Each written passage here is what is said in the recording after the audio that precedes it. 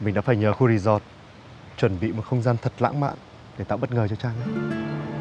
Cho Trang á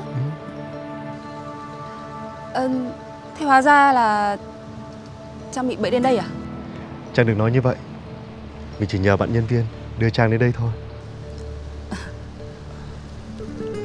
Trang này, mình đã có một suy nghĩ rất nghiêm túc muốn bày tỏ cùng với Trang.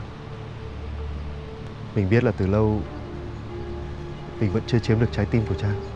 Nhưng hôm nay giữa một không gian lãng mạn như thế này, mình có một lời chân thành muốn dành đến Trang.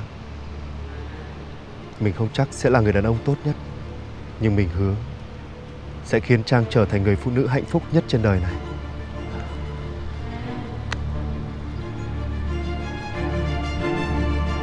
Đồng ý là người yêu của mình nhé.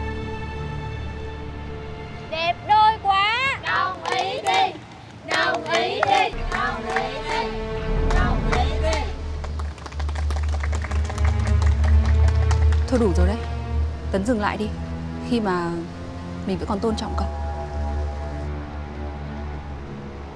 Trang nói đồng ý đi. Trang đã nói là đủ rồi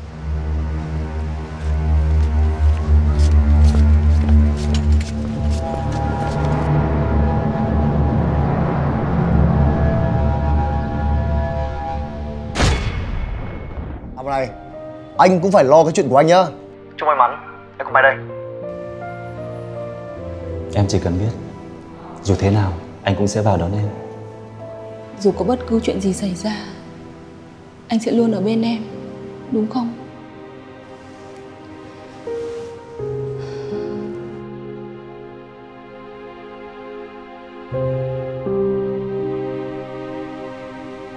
Chúc mừng vợ xinh đẹp giỏi giang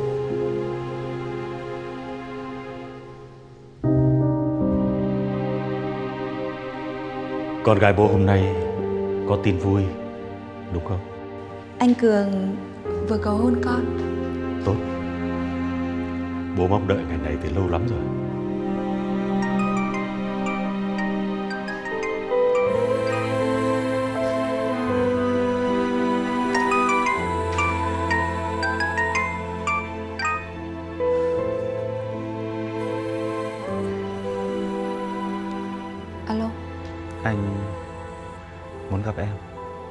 Em đang không ở nhà.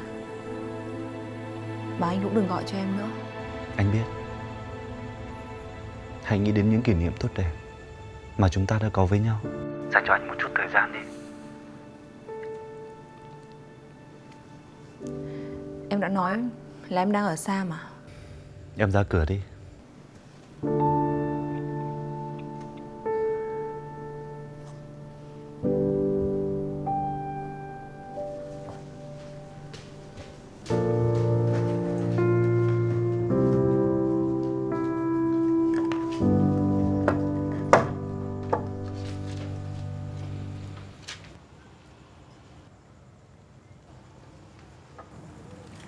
Bỏ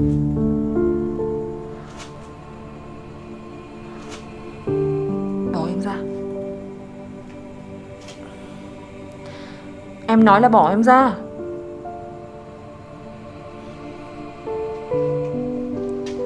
Tại sao anh biết em ở đây? Là thằng Đức. Điều đó có quan trọng không em? Vậy được rồi Anh đến tận đây tìm em Rốt cuộc là có chuyện gì? Anh đến Vì những kỷ niệm tốt đẹp mà chúng ta đã có với nhau. Đối với em tất cả là qua rồi. Nó là quá khứ rồi. Anh đừng nhắc lại và cũng đừng tìm em nữa. Như thế Sẽ tốt cho cả hai chúng ta đấy. Anh có hiểu không? Anh hiểu. Và anh cũng biết lý do Vì sao em không muốn gặp anh nữa. Phải nói thật anh đã từng cố gắng để quên em, Nhưng không thể. Đôi chân anh Không hiểu vì sao, Cứ muốn tìm đến chỗ của em. Anh vào đây. Không phải để thanh minh hay giải thích, Hay muốn chúng ta nối lại, Mà anh vào. Chỉ muốn được nhìn thấy em, Nghe giọng em nói. Ngày mai anh về rồi. Hãy dành cho anh một chút thời gian Có được không?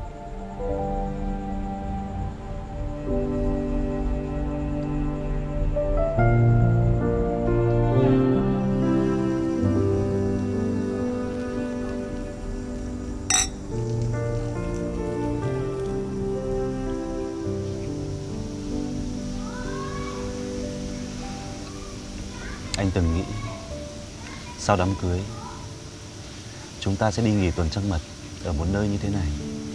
Chỉ có hai ta bên bờ biển và cùng nhau cảm nhận hạnh phúc.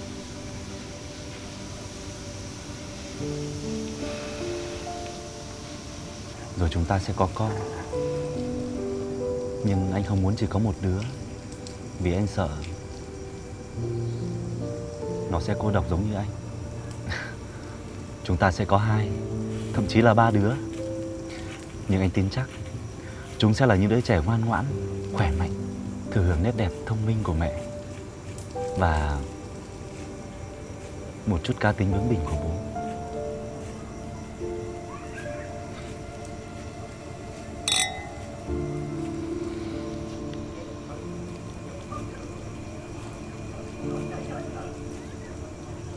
Trưa mai anh phải về rồi. Anh muốn biết ý kiến của em. Về chuyện tình cảm của chúng ta. Bằng trực giác của mình Anh tin Là em vẫn còn yêu anh Đúng không?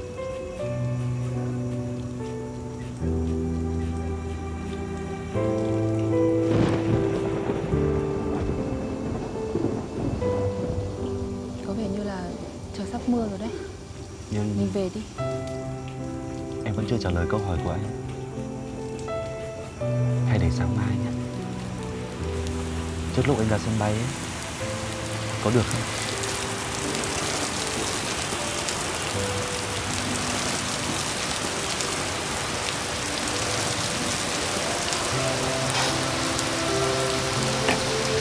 Xin về Anh sẽ chờ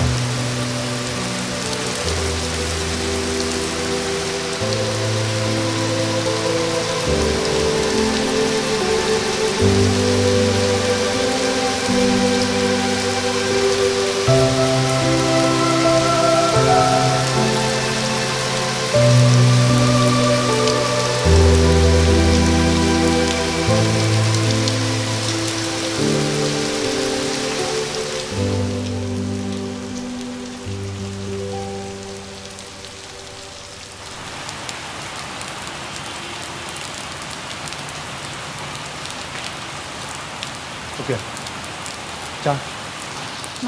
Trang đi đâu đấy? Trang làm cho tớ lo quá. Tớ đang định đi tìm Trang đây. Trang có lạnh lắm không? Không sao đâu. Sao không trú tạm ở đâu? Chờ gớt mưa ấy về à con? Ướt hết cả rồi. Thôi vào đi tắm đi. Không ốm đấy con ạ. Trang này. Cháu xin lỗi.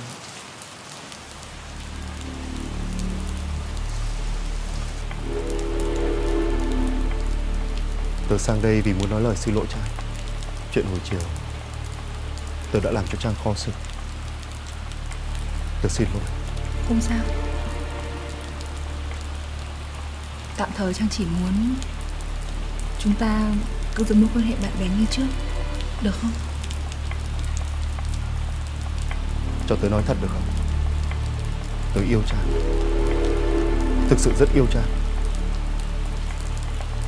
Tớ sẽ không bỏ qua bất cứ cơ hội nào Để thể hiện tình cảm Tớ chỉ muốn nói như vậy.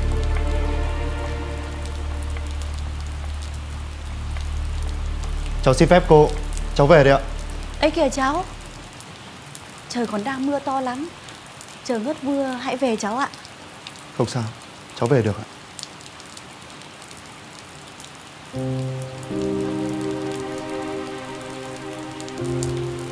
Con lại nói điều gì để cậu ấy giận à? Không có gì đâu mẹ